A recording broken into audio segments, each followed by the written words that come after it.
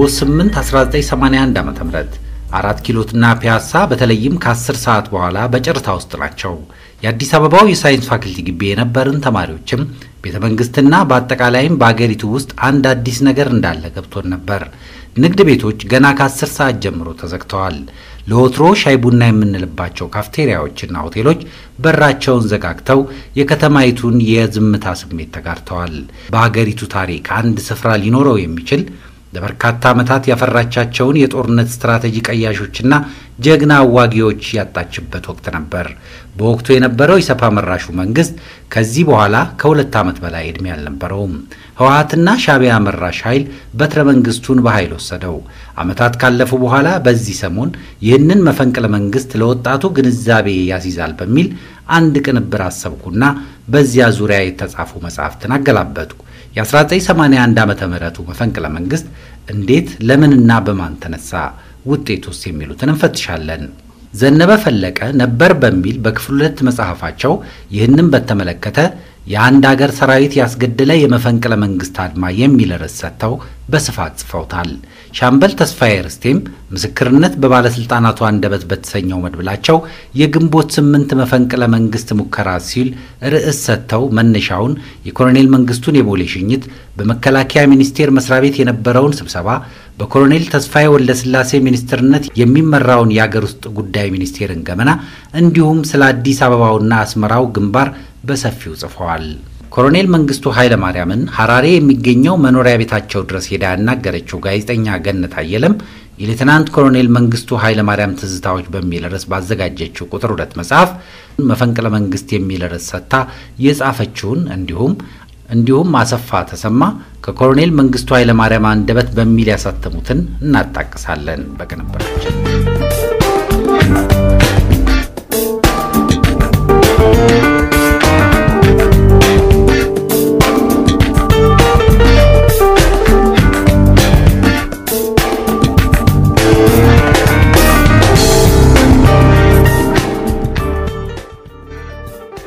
ማክሰኞ ግንቦት ስምንት ማለዳ ረፋድ ከጠዋትነቱ በተቃራኒው ሙቀቱ ይጋረፋል።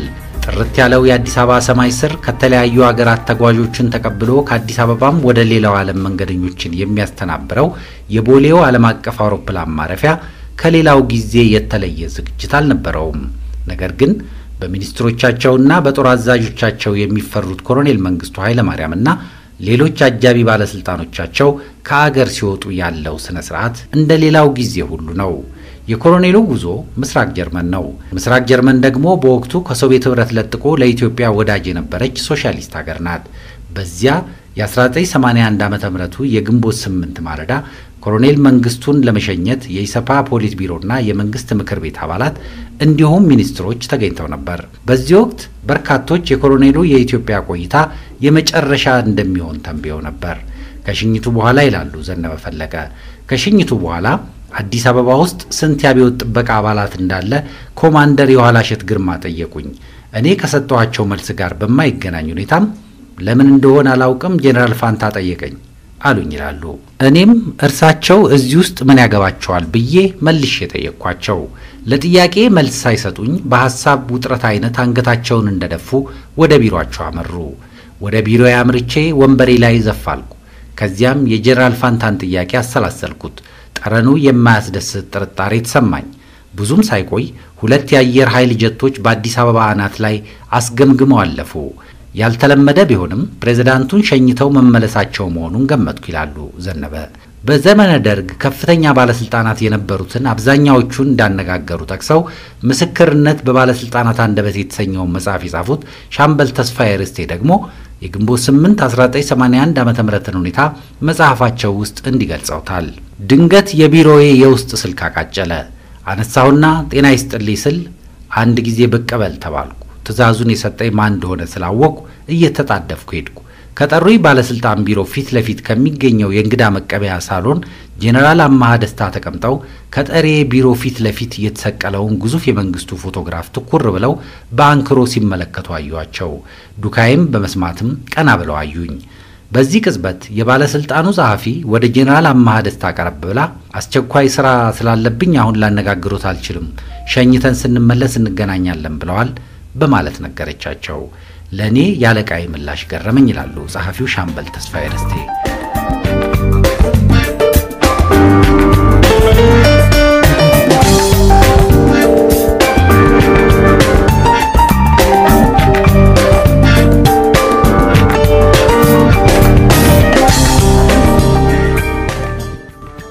ፕሬዝዳንት መንግስቱ ቦሌ ዓለም አቀፍ አውሮፕላን ማረፊያ ከደረሱ በኋላ ተሰልፈው የሸኟቸውን ባለስልጣናት ሁለት እጆቻቸውን አጣምረው በመጨበጥና ወደ ላይ በማወዛወዝ ተሰናብተው ወደ ውስጥ ገቡ። የደህንነቱ ሚኒስትር ኮሎኔል ተስፋዬ ወልደስላሴን ማለታቸው ነው። ተከትለው በመግባት አንድ ነገር ሹክ ሲሏቸው በእርጋታ ፈገግ ብለው ውጤቱን እናያለን ማለታቸውን ከፕሬዝዳንቱ ጋር አብረው ከሄዱት የኢንተለጀንስ መኮንን አንዱ ገልጸውልኛል ይላሉ ጸሐፊው። ይህ መረጃ ምናልባትም የመፈንቅለ መንግስቱን ሴራ በተመለከተ ፕሬዝዳንቱ አስቀድሞ መረጃ ደርሷቸው ሊሆን ይችላል የሚል ጥርጣሬ ሊያጭር ይችላል። ወይንም ደግሞ ለጸሐፊው መረጃውን የሰጡት ኮሎኔል ተስፋዬ ወልደስላሴ አሳሳች መረጃ ነግረዋቸውም ይሆናል። ለማንኛውም ከጽሑፉ እንዳገኘሁት መረጃ ፕሬዝዳንቱ ወደ ምስራቅ ጀርመን ለመሄድ የተሳፈሩበት ጢያራ ጉዞ ከጀመረ በኋላ ብሔራዊ ቲያትር አካባቢ የሚገኘው መከላከያ ሚኒስቴር ውስጥ የተለየ እንቅስቃሴ ነበር። የነበር ጸሐፊው ዘነበ ፈለቀ በመከላከያ ሚኒስቴር ውስጥ ስለነበረው ስብሰባ ከማስረዳታቸው በፊት ይህንን ስብሰባ የደህንነት ሚኒስትሩ እንዴት እንደደረሱበት በማብራራት ይጀምራሉ። የፓርቲው ፖሊት ቢሮ ኢሰፓ ማለታቸው ነው እና የመንግስት ምክር ቤት አባላት ሚኒስትሮችና ጀነራሎች በቦሌ ዓለም አቀፍ አውሮፕላን ማረፊያ ተገኙ። ሜጀር ጀነራል መርዕድ ንጉሴ ግን ከጀነራሎቹ ቁጥር ጎድለዋል። ከእንዲህ አይነቱ የፕሮቶኮል ጥሪ የሚያስቀር የሥራ ውጥረት የለባቸው፣ አልታመሙ ወይ መቅረታቸውን አላሳወቁ። ኮሎኔል ተስፋዬ ወልደ ሥላሴ ውስጥ አውቅናቸውና ተጠራጠሩ። ወዲያውኑ ሰዎቻቸውን ፈልግ ብለው በየማዕዘኑ አሰማሩ። ረፋዱ ላይ ስቴዲየም ፊት ለፊት ከሚገኘው የቻይና ሬስቶራንት ውስጥ ምግብ እየተስተናገዱ መሆናቸውን ለፍለጋ ከተሰማሩት የደህንነት ሰራተኞች አንዱ ለኮሎኔል ተስፋ ያሳወቀ። እስከ መጨረሻው ተከታተል ተባለ። አሁንም መጽሐፉ ላይ ለሰፈረው ጽሑፍ ዋቢው የደህንነት ሚኒስትሩ መሆናቸውን ብንገምትም የሰጡትን ትክክለኛው ነው ወይ ብለን መጠየቃችንም አይቀርም። ሜጀር ጀነራል መርዕድ ምግባቸውን አጠናቀው ወደ መከላከያ ሚኒስቴር አመሩ። የደህንነቱ ሰው ተከተላቸው። እርሳቸው ወደ ውስጥ ሲዘልቁ እርሱ ከአጥር ውጭ ቆሞ ቀጥሎ የሚሆነውን ይጠባበቅ ጀመር። ከጥቂት ጊዜ በኋላ ሌሎች ጄኔራሎች በተከታታይ ገቡ። ጥቂት ዘግየት ብለው ጄኔራል ፋንታ በላይ ደረሱ። ይህንንም ለኮሎኔል ተስፋዬ ገለጸላቸው። እሳቸው የመፈንቅለ መንግስት አድማ እየተካሄደ መሆኑን እርግጠኛ ሆኑ። ከዚያም ለሻምበል መንግስቱ ገመቹና ለሌትናንት ጄኔራል ተስፋዬ ገብረ ኪዳን አሳወቋቸው። በነገራችን ላይ እነዚህ ሁለት ሰዎች ለኮሎኔል መንግስቱ ኃይለማርያም እጅግ ታማኝ ሲሆኑ ሻምበል መንግስቱ ልዩ ረዳታቸው፣ ሌትናንት ጄኔራል ተስፋዬ ገብረ ኪዳን ደግሞ የልብ ወዳጃቸውና ለረጅም ጊዜያት ያህል የጦር ኃይሎች ኤታማዦር ሹም የነበሩ ናቸው። የዘነበ ፍለቀን ትረካን ቀጥል።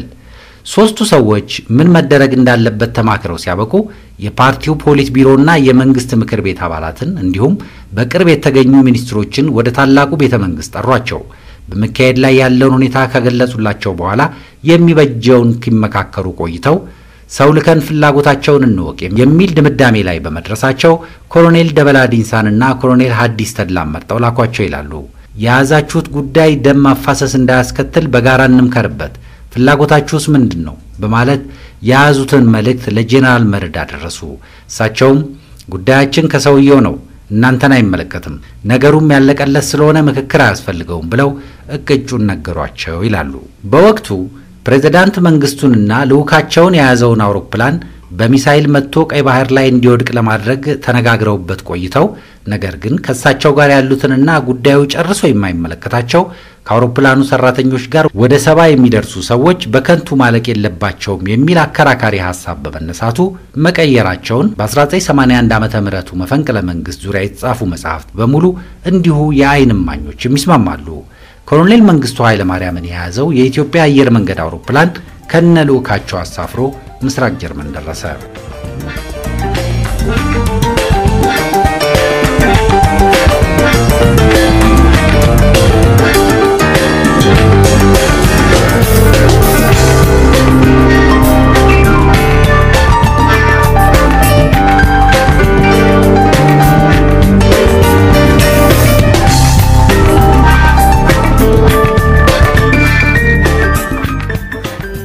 የወቅቱ መከላከያ ሚኒስትር ሜጀር ጀነራል ኃይለ ጊዮርጊስ ቢሮ አጠገብ በሜጀር ጀነራል መርዕድ ንጉሴ ሰብሳቢነት እንደተሰበሰቡ ይነገራል።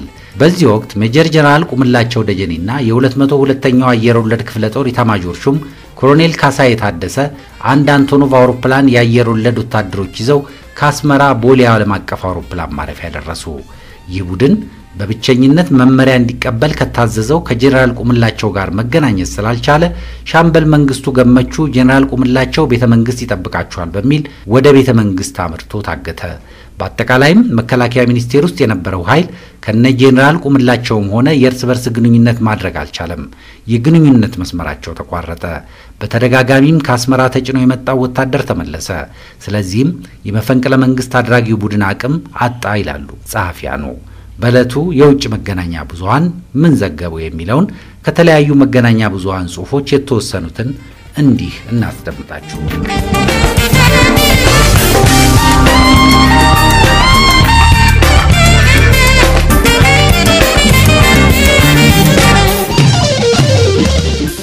በቅድሚያ ሰፊ ዘገባ ሰጥቶት የነበረው ዘ ኒውዮርክ ታይምስ እንዲህ ብሎ ጽፏል። የኢትዮጵያው ፕሬዝዳንት መንግስቱ ኃይለማርያም ምስራቅ ጀርመን የነበራቸውን ጉብኝት አቋርጠው የተሞከረባቸውን መፈንቅለ መንግስት ሙሉ ለሙሉ ለማክሸፍ ዛሬ ምሽት ወደ አዲስ አበባ ተመልሰዋል። በዚህም መሰረት ዋነኛው የመፈንቅለ መንግስቱ ቡድን መሪ መገደላቸው ታውቋል። በአዲስ አበባ የሚገኙ ምዕራባውያን ዲፕሎማቶች እንደገለጹት የመፈንቅለ መንግስቱ ዋነኛ ተዋናይ የነበሩት ጄኔራል ደምሴ ቡልቶ በበታች መኮንኖች አስመራ ውስጥ ተገድለዋል። ወደ ጀርመን አቅንተው 24 ሰዓታት ሳይቆዩ ፕሬዝዳንቱ ወደ አዲስ አበባ ከተመለሱ በኋላ በመንግስት ቴሌቪዥንና ሬዲዮ ቀርበው አብዮታዊ ሰራዊቱ ከገንጣዮች ጋር ክህደት የፈጸሙብንን ደባ ቀልብሰዋል ሲሉ ተደምጠዋል ይላል የኒውዮርክ ታይምስ ዘገባ በአጭሩ። በሌላ መልኩ ደግሞ ዘ ኢኮኖሚስት እንዲህ ብለዋል። የመፈንቅለ መንግስቱ መሪዎች ባለከፍተኛ የአየር ኃይልና የምድር ጦር አዛዦች ተገደሉ። በማግስቱም በመዲናዋ የተኩስ ልውውጥ የነበረ ሲሆን አስመራ ውስጥ ደግሞ ግድያ ተበራክቷል። የኢትዮጵያ መንግስትም ከመፈንቅለ መንግስቱ ጋር ግንኙነት አላቸው ያላቸውን 180 ወታደራዊ መኮንኖችን ማሰሩን ገልጿል። በዚህ በከሸፈው መፈንቅለ መንግስት 27 ከፍተኛ ወታደራዊ መኮንኖች ተገድለዋል። ዘ ኒውዮርክ ታይምስ ደግሞ ከአንድ ሳምንት በኋላ ባወጣው ሌላ ዘገባ ከ300 እስከ 400 የሚደርሱ የጦር መኮንኖች መታሰራቸውንና ወታደራዊ መሪው መንግስቱ ኃይለማርያምን ማለቱ ነው የተሸረሸረውን ስልጣናቸውን ለማጠናከር ወታደሩ ውስጥ የስልጣንና ማዕረግ ክለሳ ያደርጋሉ ተብሎ ይጠበቃል።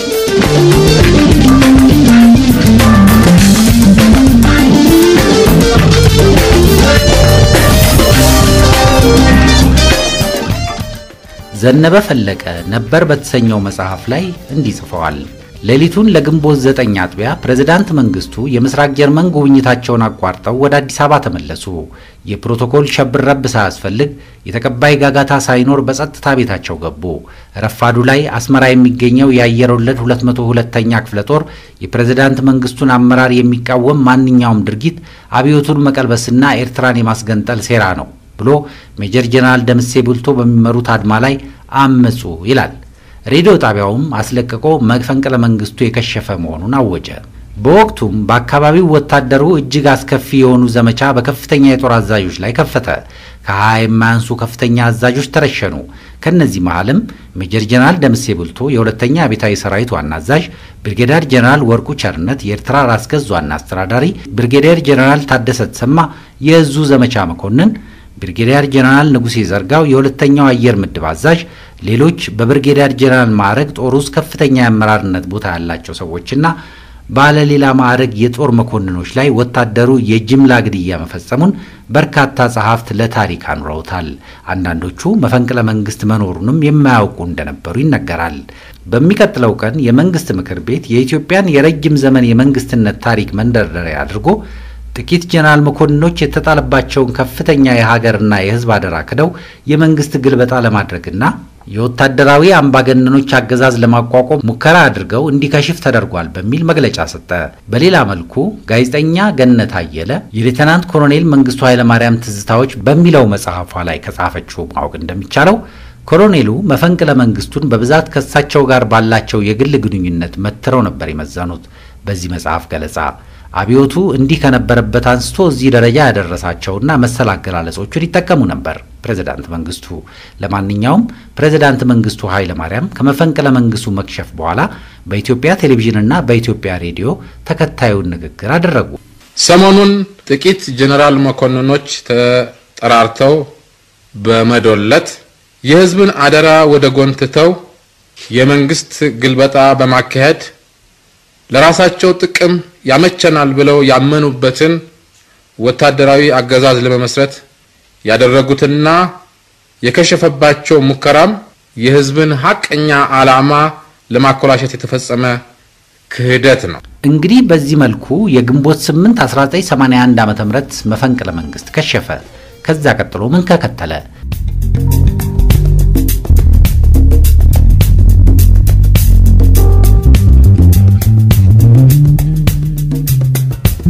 Thank